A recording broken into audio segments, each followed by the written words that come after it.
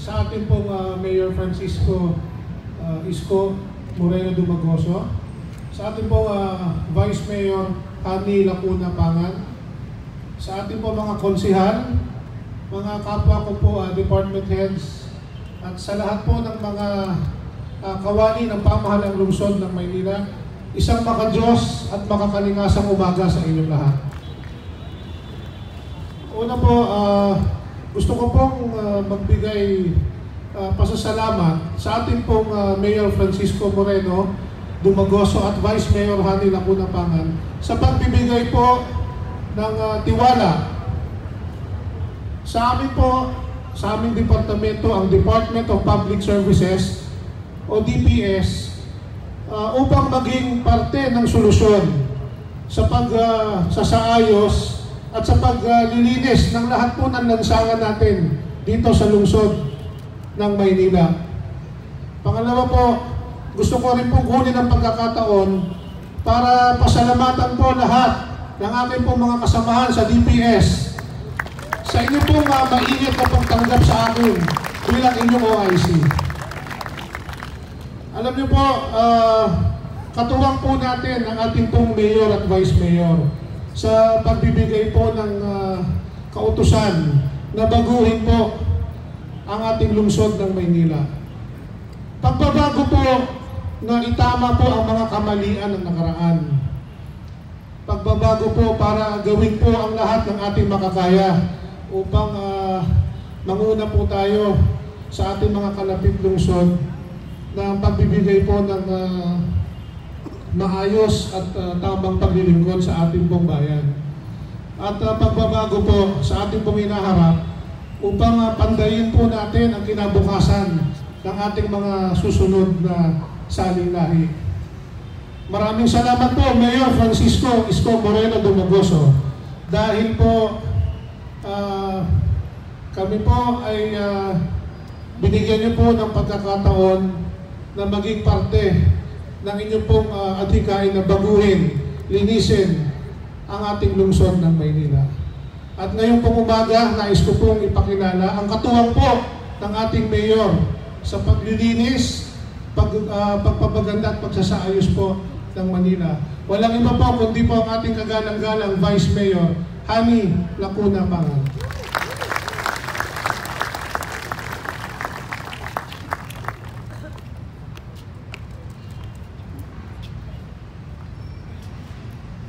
Marami pong salamat, ah, Director Kenneth Amorao.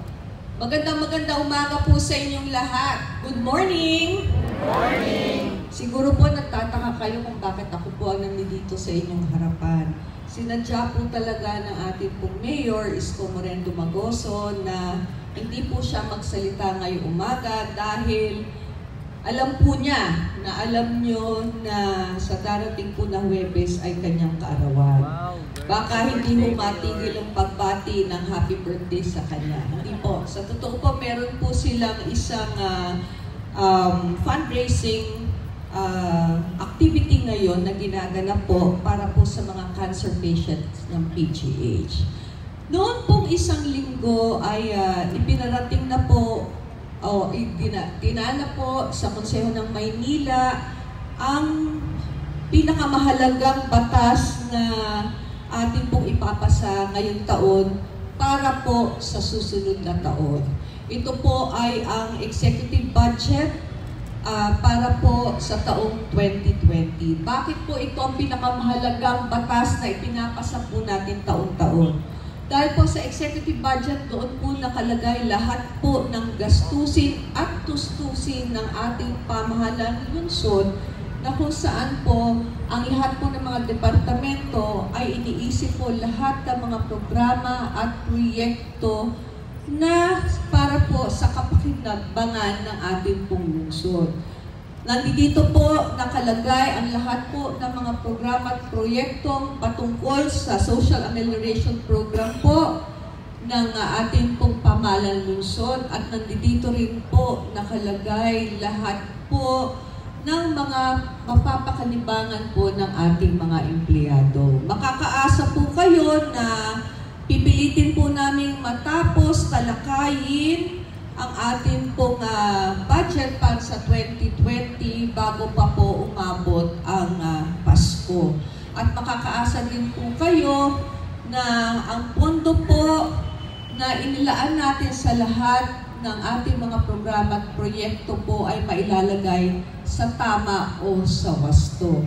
Ngayon pong uh, linggo ay uh, ipagdiriwang naman ang uh, 73rd anniversary ng uh, Manila City Library. Pinabati po namin sila.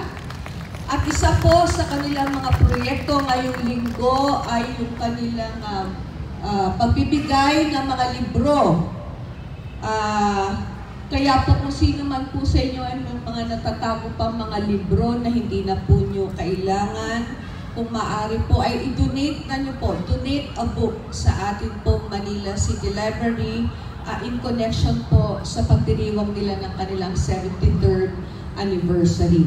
Ngayon din pong linggo, dahil po uh, kaarawan ng ating pong punong lungsod ng isa po sa paka, pinakamalalapit sa kanyang health services po, marami po tayong papasinayahan ng mga uh, uh, ospital at uh, mga kagamitan gaya ho sa Gat Andres ay uh, papasinayahan na po natin ang ating uh, dialysis center na magkakaroon po ng bagong pangalan at karagdagang mga dialysis machines.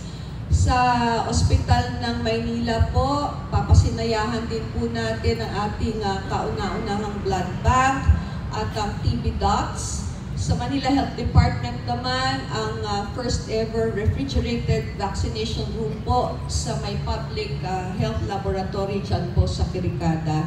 Napakarami po natin mga activities ngayon pong uh, linggo. Pero meron pong isang pinapakiusap ang ating pong uh, punong lungsod, uh, Francisco Escobo Reno Dumagoso, na sana po sa kanyang kaarawan sa ganap na alas 7 ng umaga ay uh, sabay-sabay po tayong maglinis ng ating pong kapaligiran, ng ating pong uh, tanggapan. Ito na po siguro ang pinakamagandang magiging regalo po natin sa ating pong punong lungsod. So yun lamang po, maraming maraming salamat. Papaalala ko lamang po sa inyo ang lagi pong sinasabi ng ating pong Mayor Isko Moreno Tumagoso na sana po ay simulan natin ang linggo na may ngiti sa ating mga labi at gawin po natin ang ating mga uh, responsibilidad ng maayos at tapat. Maraming maraming salamat. Magandang umaga. Manila, God first.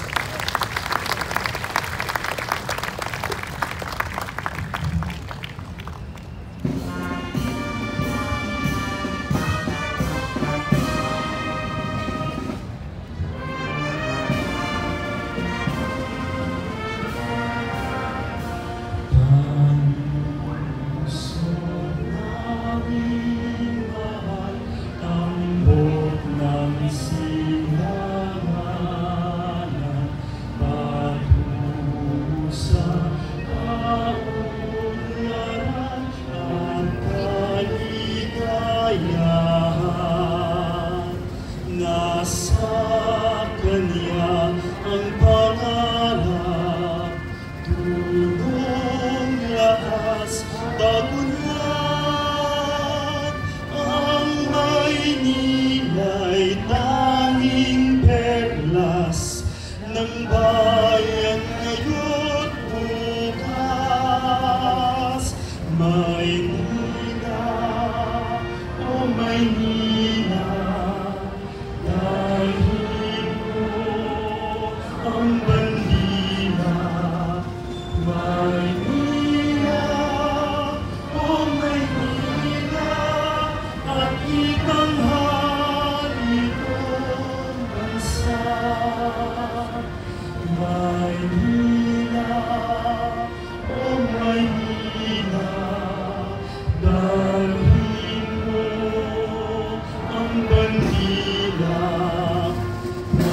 life.